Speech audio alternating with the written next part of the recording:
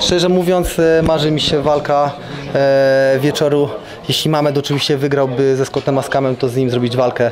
To jest takie spełnienie marzeń i jeśli by się udało z taką legendą zawalczyć, to było to, byłoby to coś wspaniałego, tak? A Patrick Klins jeszcze ma kontrakt z, z Octagonem, więc o takich nawet zawodnikach nie myślę, nie?